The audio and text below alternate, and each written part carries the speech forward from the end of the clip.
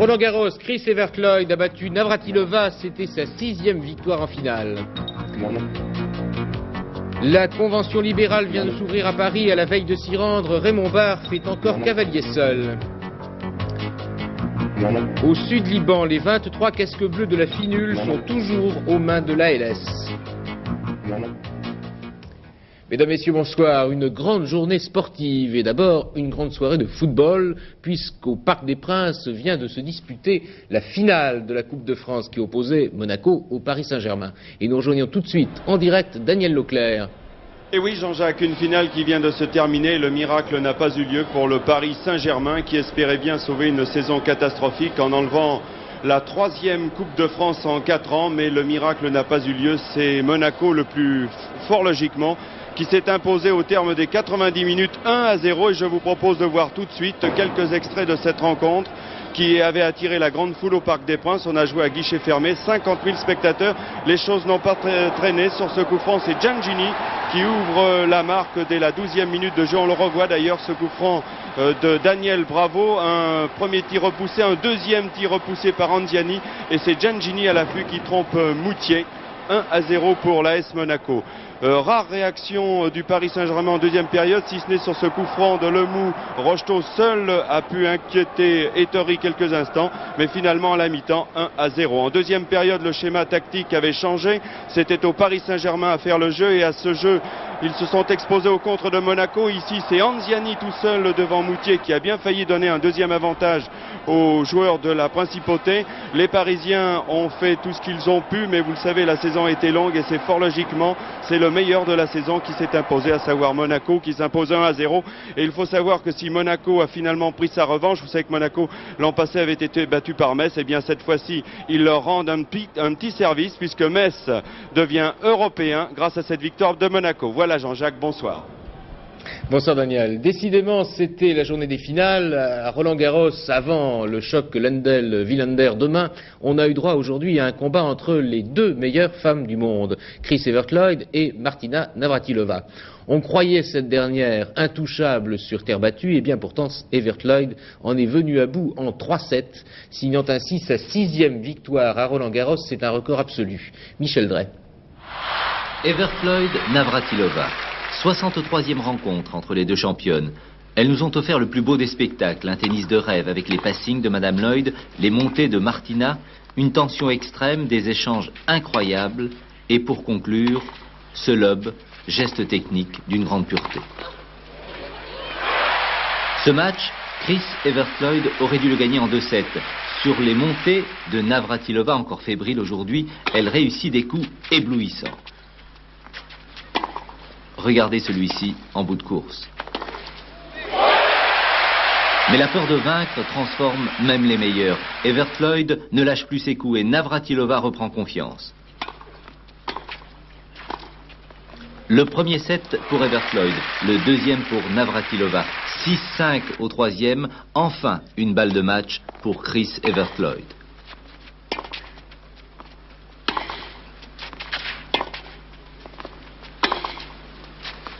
Et pour conclure, une superbe balle le long de la ligne. Un sixième titre à Roland Garros, une date historique pour l'américaine.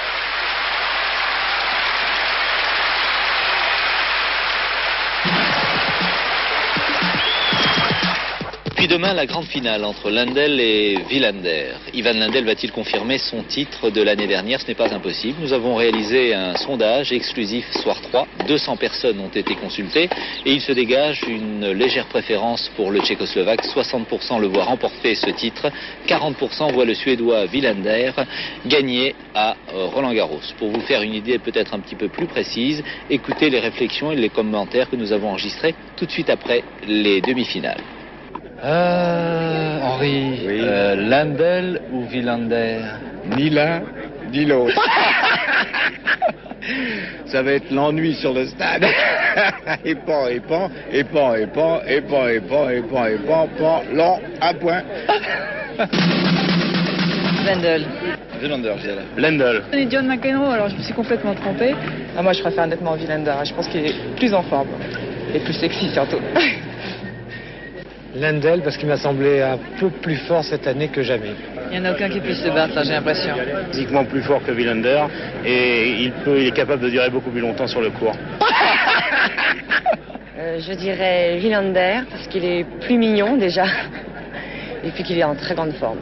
Euh, je, crois que ce sera Lendl, mais je préférerais Villander, voilà. Villander, parce que son jeu est beaucoup plus créatif, à mon avis, et parce que je préfère, c'est tout simplement, c'est subjectif. C'est un superbe match euh, contre McEnroe, et je crois que s'il fait le même match contre Lendl, il gagnera. Je crois que j'ai donné des pronostics depuis le début de la semaine, il n'y en a pas un qui s'est avéré exact. Alors, mon pronostic, c'est Lendl, ce qui veut dire que Villander a une bonne chance de gagner.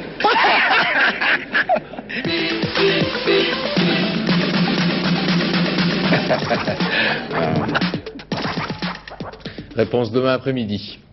La convention libérale réunie à Paris à l'initiative de Valéry Giscard d'Estaing s'est ouverte aujourd'hui sur des discours très œcuméniques. Tout le monde appelle à l'union de l'opposition. Il faut dire du reste que c'est l'objet même de cette grand-messe dont le point culminant sera demain la photo de famille réunissant à une même tribune Valéry Giscard d'Estaing, Jacques Chirac et Raymond Barre. On se demandait depuis plusieurs semaines quelle attitude ce dernier, Raymond Barre, adopterait en la circonstance. On le devine un peu mieux depuis cet après-midi. À Lyon, en effet, où l'ancien Premier ministre s'adressait à des élus de l'opposition, il a, une fois de plus, mis en garde ses partenaires en disant que les difficultés actuelles de la France ne datent pas du régime socialiste. Nous avons trop souvent tendance à croire nous pouvons nous payer tous les luxes. Ce n'est pas vrai. Il y a de nombreuses années que la France est vulnérable. Les socialistes avaient promis de nous faire rêver. Le rêve a pris fin au cauchemar. Eh bien, à nous de ne pas faire rêver les Français pour qu'ils ne nous reprochent pas demain, à nous aussi, de leur avoir donné un cauchemar. Alors bien sûr, on imagine aisément que Raymond Barre n'a pas choisi par hasard de tenir ses propos à la veille de la grande convention unitaire de Paris, et cette nouvelle impertinence pourrait peut-être jeter un certain froid. Michel Naudy. Premier principe, cultiver la différence pour essayer de distancer le partenaire. Mais deuxième principe aussitôt formulé, embrasser ostensiblement le partenaire pour éviter de déplaire à son électorat. C'est de l'alternance, du dosage de ces deux principes que se structure, que se fait la vie politique de l'opposition depuis plusieurs mois. Ainsi, demain, on illustrera, et de manière très spectaculaire, le deuxième principe, celui de l'unité, après plusieurs jours de phrases assassines et d'embuscades réciproques. Il faut dire, en effet, que la force des images et la force des symboles est telle que demain, probablement, on estimera que le temps de la dispute est révolu et que finalement, il n'y en ait qu'un qui en profite, c'est le président de la République lui-même. Pourtant, et de manière très paradoxale, il se peut que cette convention libérale soit une nouvelle pomme de discorde. M. Giscard d'Estaing, en effet, ne rate, si j'ose dire, aucune occasion de souligner qu'il en est le père, et donc il peut être à même d'en tirer profit, et profit pour lui seul. D'ici à ce que M. Barr et M. Chirac s'en rendent compte, il se peut que les serments aussitôt formulés soient aussitôt oubliés, et que finalement, on se retrouve au lendemain de cette convention libérale avec une situation identique dans l'opposition. Les Italiens vont voter demain pour un référendum populaire suscité par le Parti communiste. L'enjeu est important, il s'agit de décider si on va poursuivre le blocage des salaires ou rétablir leur indexation sur les prix, c'est-à-dire la fameuse échelle mobile. Le chef du gouvernement Bettino Craxi a mis sa démission dans la balance. Si les oui l'emportent, il a prévenu qu'il partirait. Hubert Coudurier. Cela fait presque deux ans que Bettino Craxi, chef du Parti socialiste, dirige la coalition gouvernementale largement dominée par les démocrates chrétiens. Un record de longévité aujourd'hui menacé par la politique d'austérité du gouvernement. Une volonté de stopper l'inflation qui avait entraîné une grève générale en janvier 83. Paradoxe, la majorité gouvernementale a gagné les élections municipales et régionales il y a un mois au détriment du PCI dont la chute s'aggrave. Il n'est donc pas question pour le Premier ministre de modifier le cap de la rigueur au moment où les indices économiques connaissent après une amélioration un nouveau fléchissement. En appelant le pays à refuser l'abrogation du gel des salaires, M. Craxi a reçu le soutien des syndicats, à l'exception toutefois de la CGIL, la majorité communiste, qui n'a pas donné de consigne de vote. L'unité syndicale n'étant plus ce qu'elle était, les communistes ont donc trouvé que le mouvement fasciste italien comme allié objectif. Ils dénoncent de concert ce décret dont seuls les salariés subissent les effets. Mais les sommes que ces derniers pourraient récupérer, environ 140 francs par mois, servent aussi de prétexte à de nouvelles joutes politiques à deux semaines des élections présidentielles. Au sud-Liban, les 23 casques bleus de la finule sont toujours retenus en otage par les miliciens de l'ALS, proche d'Israël. Cela dure depuis maintenant 24 heures. Pour les relâcher, l'ALS demande la libération de 11 des siens qui ont été enlevés par les chiites. Richard Tripot. Voici les onze membres de l'armée du Liban Sud aux mains des chiites Hamal. Ont-ils été faits prisonniers? Ont-ils déserté leur armée? Mystère. En tout cas, leur chef, le général Laad, assure qu'ils ont été livrés par les soldats des Nations Unies, version contestée par l'ONU. Quoi qu'il en soit, en représailles, 23 casques bleus ont été faits prisonniers par ces hommes. 19 d'entre eux se trouvent ici à Adessen, tout près de la frontière israélienne. Aujourd'hui, le général Laad a annoncé qu'il relâcherait dès ce soir trois ou quatre de ses Finlandais si le chef d'état-major de l'ONU au Liban prenait contact avec lui. Une façon pour le chef de l'armée du Liban Sud de faire reconnaître officiellement sa présence dans la région. Or, précisément, c'est ce que l'ONU refuse. Elle ne reconnaît pas la légitimité de l'ALS. Depuis le retrait des Israéliens, les casques bleus de la finule essaient donc de stopper les mouvements de ces miliciens. Cette affaire risque d'être un test pour la crédibilité de l'armée du général Lahad. D'autant qu'Israël, qui la finance et qui comptait sur elle pour assurer la sécurité après son départ, n'a plus confiance. Des désertions et quelques exactions ont terni son image et ont sans doute compté dans la décision d'Israël de retarder son retrait.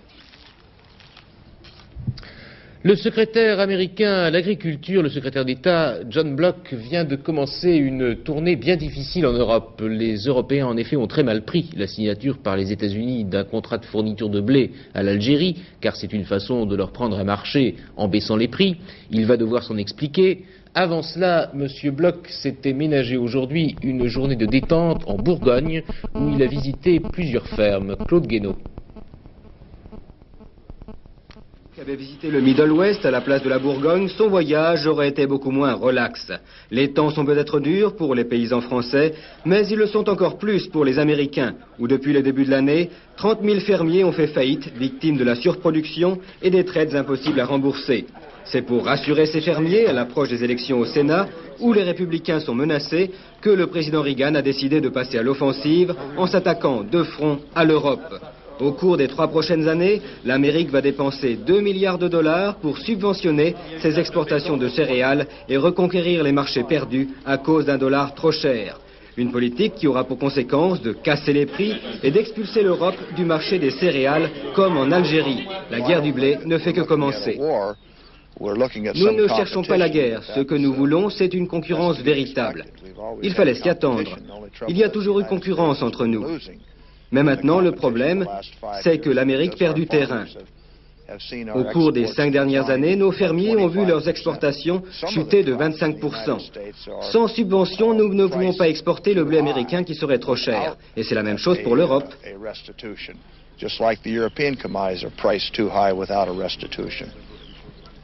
Pour l'Amérique, si ses excédents atteignent des sommets, c'est la faute à l'Europe et à sa politique de subvention qui permettent de payer le blé plus cher aux producteurs que ce qu'il est vendu à l'exportation. Mais les Américains oublient facilement qu'ils font de même. C'est un cercle vicieux qu'on n'arrivera pas facilement à briser. Il faut que nous ayons de meilleures relations commerciales au plan mondial. Il faudrait qu'on négocie pour arriver à des règles qui soient justes pour tout le monde, qui donnent à chacun les mêmes chances de vendre et d'affronter les marchés. Discipline et loyauté dans le commerce international permettraient d'apaiser largement les tensions.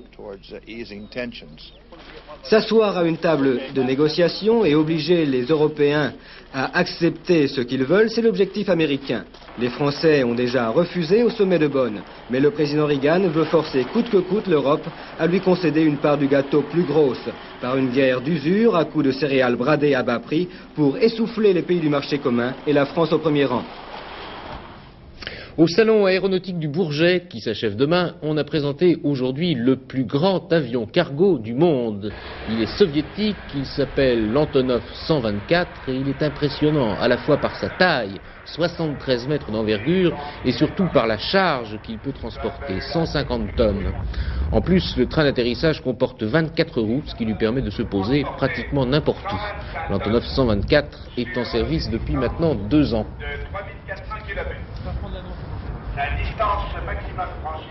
Laurent Fabius, qui visitait aujourd'hui le Salon du Bourget en compagnie du Premier ministre indien Rajiv Gandhi, a affirmé que l'État français allait continuer plus que jamais à soutenir l'industrie aéronautique française.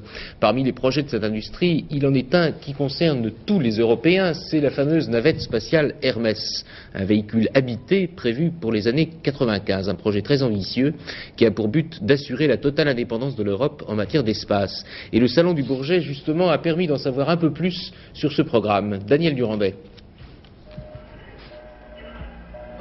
Kourou, le 12 avril 1995, 12h30. On attend cet événement depuis 10 ans, le premier décollage d'un vol habité européen avec tout en haut de la nouvelle Ariane 5, la navette spatiale Hermès. À bord, quatre astronautes européens qui vont rejoindre leur station orbitale lancée deux ans plus tôt par la navette spatiale américaine. C'est déjà le 82e lancement de la fusée européenne. Pour parvenir à ce beau rêve dans 10 ans, la question est de savoir si dès à présent les Européens sont prêts à suivre la France, qui a imaginé et qui est bien décidé à s'engager même seul dans ce programme ambitieux. Si la maîtrise d'œuvre du programme ne peut échapper aux industriels français, bien malin qui peut dire aujourd'hui quel sera l'élu.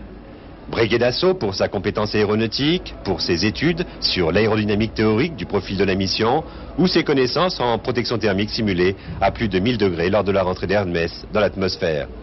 L'aérospatial pour sa compétence éprouvée en matière spatiale et son expérience dans le domaine du balistique et de l'architecture industrielle. C'est la société européenne qui a le plus d'atouts dans sa main pour conduire un tel programme. Ça ne veut pas dire qu'il n'y a pas d'autres sociétés en Europe et en France qui soient capables de participer à ce programme. Et nous souhaitons très vivement d'ailleurs que ce soit un rassemblement de sociétés qui conduisent ce programme qui, encore une fois, est une aventure européenne qui doit rassembler l'industrie européenne. Si l'Europe de l'espace a l'audace de s'engager dès maintenant, comme il y a dix ans pour Ariane, on pourrait voir alors, dès 1994, dans le ciel d'Istres, les premiers essais en vol d'Hermès sur le dos d'un Airbus. Il y avait un tiercé cet après-midi sur l'hippodrome d'Auteuil. Il fallait jouer 16, 13 et 14. Vous voyez les rapports. 38 920 francs. Dans un ordre différent, 7 784 pour 5 francs. Demain, les turfistes ont rendez-vous à Chantilly pour une épreuve prestigieuse. C'est le prix du Jockey Club. Il y a 11 partants et M. Courtine a choisi le numéro 2, qui est son joker, le 11, le 9, le 10, le 5 et le 6.